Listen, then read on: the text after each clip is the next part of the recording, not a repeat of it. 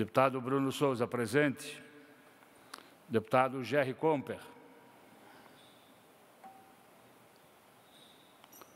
Deputado Jerry Comper. Deputado José Milton Schaefer. Deputado José Milton Schaefer. Deputado Milton Obos. Deputado Milton Obos. Deputado Sargento Lima.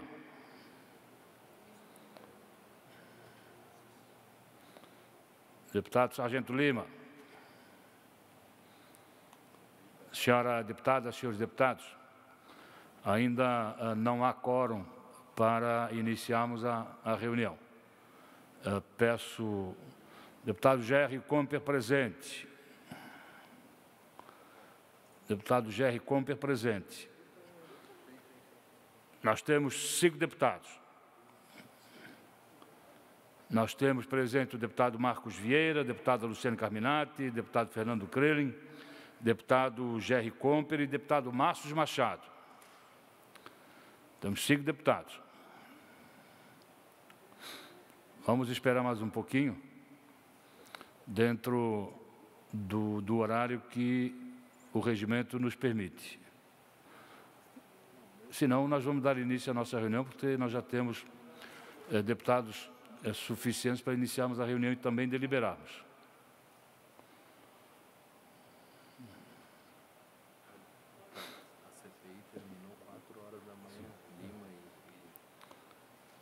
Na verdade, a reunião da Comissão Parlamentar de Inquérito, ela terminou por volta de quatro horas da manhã. E lá estavam presentes os deputados Sargento Lima e o deputado Milton Lopes. Naturalmente que ainda ficaram depois conversando para verificar é, outras situações da CPI.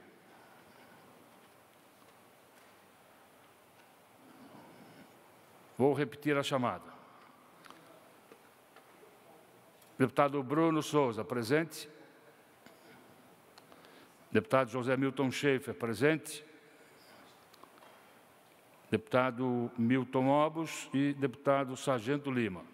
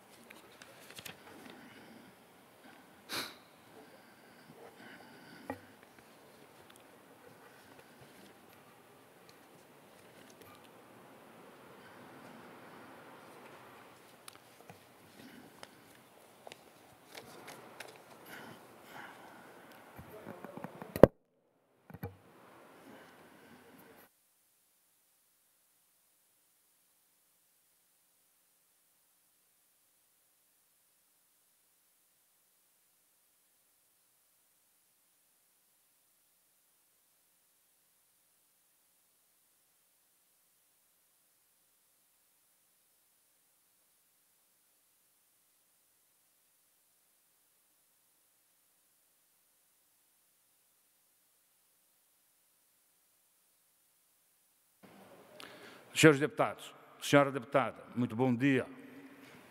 Há quórum regimental. Então, havendo quórum regimental, vamos dar início à reunião ordinária da Comissão de Finanças e Tributação. E os senhores deputados receberam em seus respectivos gabinetes cópia da ata da nona reunião ordinária da Comissão de Finanças e Tributação da segunda sessão legislativa da 19ª legislatura, em discussão. Não havendo quem queira discutir em votação. Senhor deputado, com cópia, mas como se encontra aprovado.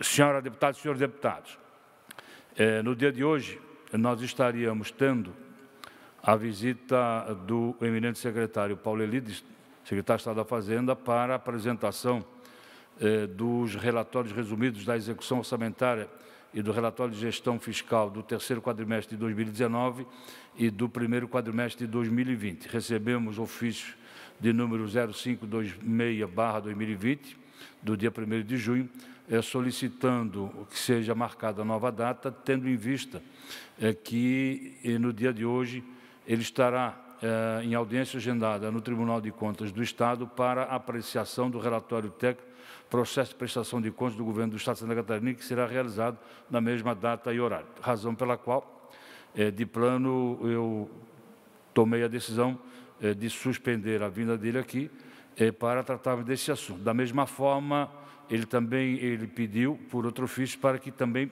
ficasse liberado da, a, da participação na reunião da comissão especial que de, deveria ter sido realizada ontem às 13h30 Vamos marcar oportunamente. Vamos conversar com ele e vamos marcar oportunamente. Também, senhora deputada e senhores deputados, é, nós estamos já finalizando o prazo é, de recebimento do, da diligência, das diligências remetidas à mesa diretora desta Casa, ao Tribunal do Presidente do Tribunal de Justiça, ao Procurador-Geral de Justiça, ao Presidente do Tribunal de Contas e ao Reitor da UDESC, para uh, examinarem uh, de, de, todo o teor uh, do projeto de lei, o, o 0140.1-2020, que é né, a tramitação da LDO, Lei de Diretrizes Orçamentárias. É, esse prazo tá, se encerrou dia 28, nós já recebemos é, do Tribunal de Justiça e do Tribunal de Contas, estamos por receber no dia de hoje ainda dos demais do, do, do, do, Poder da Assembleia Legislativa e dos demais órgãos. Já solicitei a assessoria desta comissão que faça a distribuição de cópia dos diligenciamentos recebidos e assim que chegar dos outros poderes e órgãos, também nós ah, ah o faremos. Mas também eh, quero levar ao conhecimento que amanhã eh, se encerra a apresentação das emendas parlamentares. Então, amanhã, dia 4 de junho, eh, nós vamos fazer o encerramento das emendas parlamentares. Passa aqui para que se possa, no dia 10, na quarta-feira da semana que vem, fazer a apresentação do parecer conclusivo e automaticamente conceder vistas coletivas a todos os senhores deputados. Senhores deputados, vamos então ao relatório e voto de projetos em poder de vossas excelências. Eu pergunto, deputado Bruno está presente? Ainda não. Vamos começar pelo deputado Fernando Clerim. Vossa Excelência, deputado Fernando, para relatar os seus projetos. Presidente, só pela ordem. Deputada Luciane Carminati. Bom dia, presidente. Pois não, deputado. Bom dia, colegas deputados. Eu quero só fazer uma solicitação, se assim for possível, presidente, é, de estender o prazo das emendas até segunda-feira. É possível? A LDO? Segunda-feira é dia. Dia 8. 8. Deputada, vou consultar os senhores deputados. Os deputados presentes nesta reunião, há concordância? Sim. Deputado Sim. Fernando, Sim, deputado Gerri? Sim. Também concordo com Vossa Excelência, deputada Luciane. Muito Nossa, obrigada, presidente. O primeiro pleito de Vossa Excelência no dia de hoje já foi atendido. Vou aproveitar hoje, então. então, o prazo para apresentação de emendas parlamentares é, fica estendido. Vamos fixar o horário, então, deputada, até às 15 horas, segunda-feira até às 15 horas, okay. para que possamos depois, porque nós vamos ter somente segunda-feira, no final de tarde, e terça-feira para fazer é, é, o exame das emendas e, e, e, e emitir o, o relatório. Então, dia 8 até 15 horas. Solicito a assessoria da comissão que expressa uma comunicação via e-mail a todos os gabinetes, é, comunicando a decisão da Comissão de Finanças. Então, passa a ser uma decisão da Comissão de Finanças. Deputado Fernando, por gentileza. Muito bom dia, senhor presidente, senhores deputados. Vou relatar o projeto de lei 0491.0/2019, de autoria do vereador do deputado Felipe Estevam. Trata-se de projeto de origem parlamentar que busca proibir a cobrança pelas concessionárias de serviços públicos no estado de Santa Catarina de débitos pendentes ou quaisquer outros encargos relacionados a contratos anteriores. Então, antes de qualquer manifestação, senhor presidente, entendo necessária diligência aos órgãos correlatos, a matéria em análise, assim, em termos do artigo 142 do Regimento Interno desta Casa, proponho o diligenciamento à Casa Civil e à Secretaria do Estado de Desenvolvimento Econômico Sustentável, ouvindo aos órgãos, né, instituições e entidades pertinentes. Obrigado, senhor presidente. Senhor deputado, é pelo diligenciamento o, o voto, parecer de voto do deputado Fernando Crelin, ao PL 0491.0/2019, em que é autor o deputado Felipe Estevo, que tem como emenda eh, que proíbe a cobrança pelas concessionárias de serviços públicos de Santa Catarina de débitos pendentes ou quaisquer outros encargos relacionados a contratos anteriores. Em discussão, não havendo quem queira discutir em votação. Senhor deputado, com cópia permaneça como se encontra o diligenciamento. Está aprovado. Deputado Jerry Comper, Vossa Excelência com a palavra.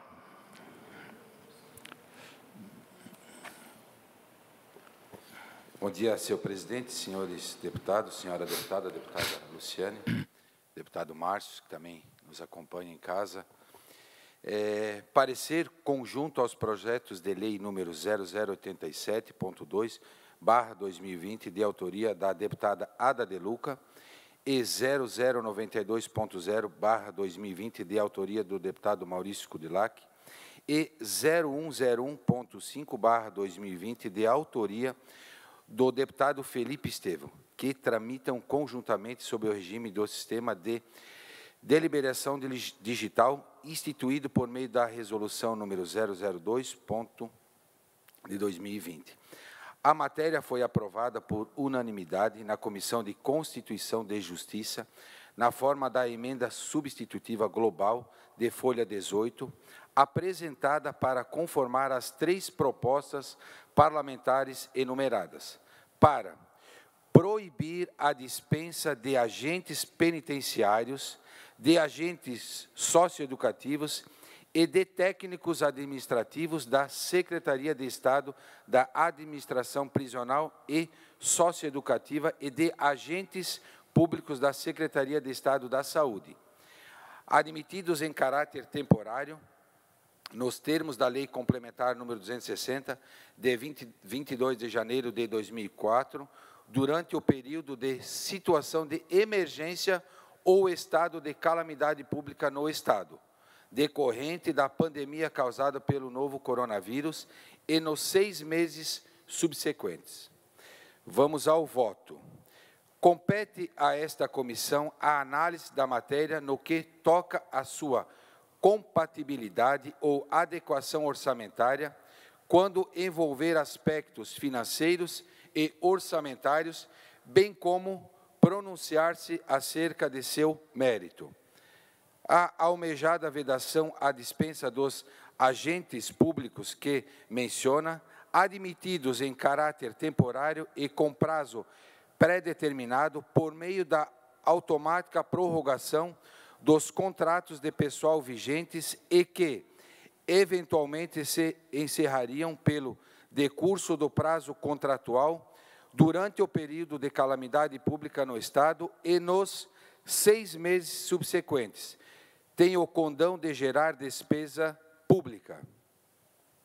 Nesse contexto, observo que, via de regra, se não vivêssemos um período de exceção, dever-se-ia respeitar as exigências previstas no parágrafo 1 do artigo 169 da Constituição Federal e nos artigos 16 e 21 da Lei de Responsabilidade Fiscal, quais sejam: prévia dotação orçamentária suficiente para atender às projeções de despesa de pessoal e aos acréscimos dela decorrentes autorização específica na lei de diretrizes orçamentárias e estimativa de impacto financeiro orçamentário provocado pela medida.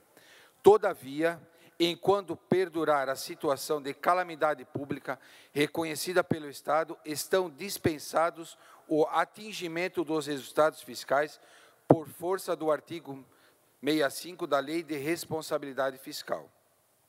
Ademais, a emenda constitucional número 106 de 7 de maio de 2020 dispensa a observância do parágrafo 1 do artigo 169 da Constituição Federal e das limitações legais relativas às proposições legislativas que acarretem aumento de despesa durante o período de calamidade pública e exclusivamente para o seu enfrentamento.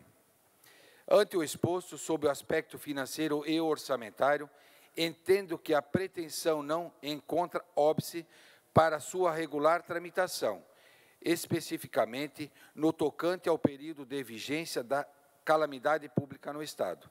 No entanto, a extensão dos efeitos da medida aos seis meses subsequentes ao fim da vigência do estado de calamidade, ao meu ver, macula a proposta adotada na forma da emenda substitutiva aprovada na CCJ, de evidente o vício de inconstitucionalidade e por via de consequência de ilegalidade por inadequação e incompatibilidade com a legislação orçamentária vigente PPA, LDO e a LOA, bem como por não estar acompanhada de estimativa do impacto financeiro orçamentário, a teor do disposto do parágrafo 1 do artigo 169 da Constituição Federal e no artigo 16 da Lei de Responsabilidade Fiscal.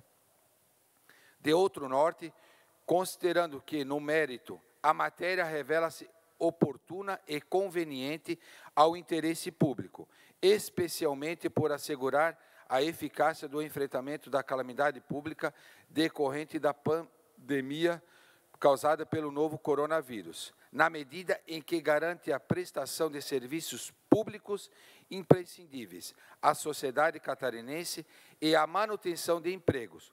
Proponho sub, subemenda substitutiva global para excluir da propositura o período que extrapola a duração da calamidade pública, com o intuito de sanar o vício apontado. Pelo exposto, voto pela continuidade da tramitação processual dos apensados projetos de lei número 0087.2 barra 2020, 0092.0 barra 2020 e 0101.5 barra 2020 e no mérito pela sua aprovação nos termos da submenda substitutiva global ora anexada. Serei isso, senhor presidente. Senhores deputados, é pela aprovação pareceral do deputado Jerry Comper ao PL 0087.2/2020, ah, apensado que está também ao PL 0092.0/2020 e também é, o projeto 0101.5/2020. Sua Excelência emite seu parecer que é pela aprovação, mas nos termos da emenda substitutiva global apresentada por Sua Excelência deputado é, Jerry Comper. Em discussão, não havendo quem queira discutir em votação. Presidente, Presidente quem não, fala? Perdão, presidente, eu só, eu só, só quero votar contrário. Só. Deputado Bruno Souza está presente. Então, em discussão, não havendo mais quem queira discutir em votação. Senhor deputado, com qual permaneça como se encontra o voto contrário, deputado Bruno. É isso, deputado Bruno? Isso, presidente. Senhores deputados, pela ordem de, eh, de, de pauta, seria o deputado Milton Alves, mas Sua Excelência está num compromisso, mas a sua assessoria eh, me trouxe um projeto de lei eh, para que eu possa fazer o relato em nome eh, do deputado Milton Alves, que é o projeto de lei 0406.8/2019, que altera o artigo 22 da Lei 12.929 de 2004, que instituiu o Programa Estadual de Incentivo a Organizações Sociais e estabelece outras providências. O autor é o Governo do Estado e, e, no âmbito interno desta comissão, o relator é o deputado Milton Alves. O presente projeto de lei já tramitou na Comissão de Constituição e Justiça, aonde o relator foi o deputado Luiz Fernando Vampiro. E Sua Excelência aprovou, emitiu parecer que é pela aprovação nos termos originais. E no âmbito interno desta comissão, no âmbito interno desta comissão, o deputado Milton Obos pede a aprovação do presente projeto de lei eh, nos termos do parecer aprovado na Comissão de Constituição e Justiça. E o que diz esse projeto de lei? É, Trata-se, senhores deputados, de alterar o artigo 22 da Lei 12.929 de 2004, que instituiu o Programa Estadual de Incentivo às Organizações Sociais estabelece outras providências. Diz o parágrafo 2 do artigo 22, que passa a ter a seguinte redação, que fica vedado às organizações sociais o pagamento de qualquer vantagem pecuniária com recurso proveniente de contrato de gestão a servidor público estadual a ele cedido, exceto aos servidores que ocuparem os cargos de diretor-geral, gerente técnico e gerente administrativo do EMOSC e CEPOM. E também o parágrafo 4 diz que as vantagens pagas aos servidores que ocuparem os cargos de diretor-geral, gerente técnico e gerente administrativo do EMOSC CEPOM não poderão exceder os valores máximos fixados para cada cargo no anexo 1 e 2 da Lei 16.160, de 7 de novembro de 2013. Então, é realmente um projeto de lei é simples que mexe nessa situação, fazendo, dando proibição de percepção de gratificação. É o parecer do deputado eh, Milton Alves e Sua Excelência pede a aprovação do presente projeto de lei. Em discussão, não havendo quem queira discutir em votação, senhor deputado concorde, permanece como se encontra aprovado. Deputado Márcio Machado. Vossa Excelência com a palavra. Obrigado. Cumprimento Vossa Excelência, cumprimento os colegas que estão na Assembleia, cumprimento a deputada. Presidente, é, eu tenho uma devolução de vista de um projeto do deputado Mauro Denadal, projeto de lei 37.7 de 2017, sem manifestação. Dep sim, deputado Márcio Machado, mas tem em vistas ainda o deputado Sargento Lima, deputado José Milton Scheff, o deputado Luciano Carminati, e o do relator o deputado Fernando Crane. Como nós temos dois deputados ausentes, é, é, nós recebemos a devolução de Vossa Excelência, mas vamos deixar para deliberar na semana que vem. Combinado. Eu tenho, presidente, também devolução de vista é, do projeto de lei 328.0 de 2019, autor Governo do Estado, sobre o programa Juro Zero, os MEI, também devolvo sem manifestação, presidente. Deputado Márcio Machado faz a devolução do PL 0328.0/2019, em que autor o governo do Estado, que altera o artigo 2 e o artigo 5 eh, da Lei 15.570 de 2011, que instituiu o programa Juro Zero com o objetivo de incentivar a formalização de empreendedores populares, o investimento produtivo, a promoção da inclusão social e a geração de emprego e renda no Estado de Santa Catarina. No âmbito interno desta comissão,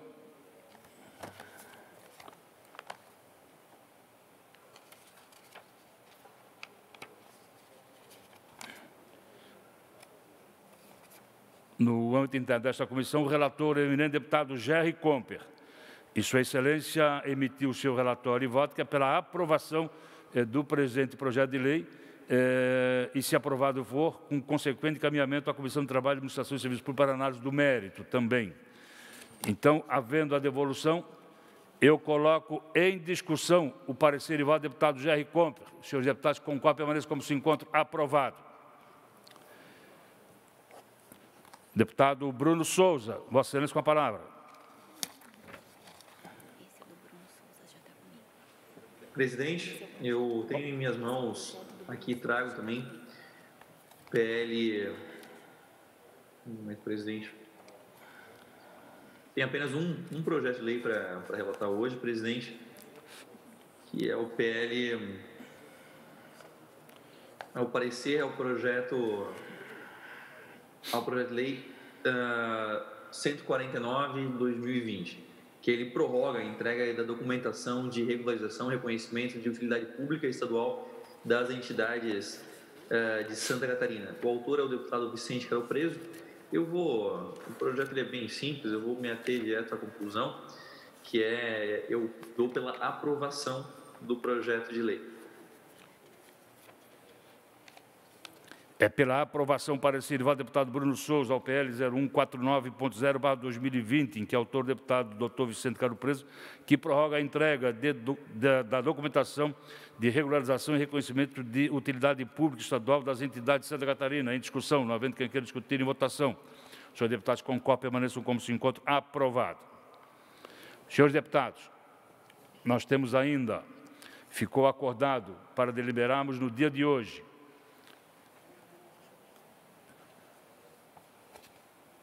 a medida provisória de número 227, que estabelece medidas no âmbito da administração pública, estadual, direta, autárquica e fundacional do Poder Executivo para enfrentamento do estado de calamidade pública declarado pelo Decreto Legislativo 18332 de 2020 e da emergência de saúde pública de importância internacional decorrente do coronavírus responsável pelo surto de 2019, em conformidade com o disposto na Lei Federal 13.979 de 2020. O projeto de lei, a medida provisória, tem como relator, no âmbito interno desta comissão,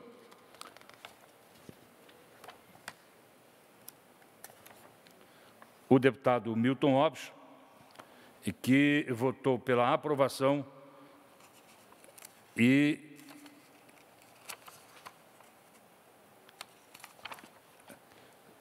houve pedido de vista da deputada Luciane Carminati. Nós íamos votar na semana passada, mas Sua Excelência foi substituída pelo eminente deputado Fabiano da Luz, então ficou acordado de fazer a votação no dia de hoje. Eu consulto a deputada Luciane Carminati, como se manifesta. Eu devolvo, então, o voto vista, presidente, sem manifestação. Há, havendo a devolução por parte da deputada Luciane Carminati, eu coloco em discussão o parecer do deputado Milton. Não havendo quem queira discutir em votação. Senhor deputado, com cópia permaneça como se encontra aprovado.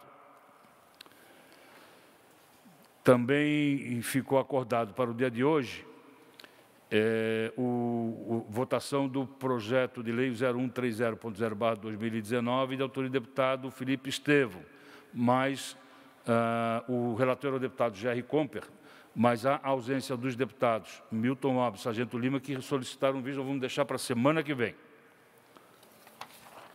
Senhores deputados, consulta a Vossas Excelências, mais algum assunto a de, tratar e a deliberar na, na reunião de hoje? Não havendo mais nada a tratar, é, dou por encerrada a presente reunião é, convocando outra para quarta-feira da semana que vem. Mas também vou levar ao conhecimento de Vossa Excelência a nova data que será marcada com o secretário Paulo Eli. Muito obrigado e um bom dia para todos.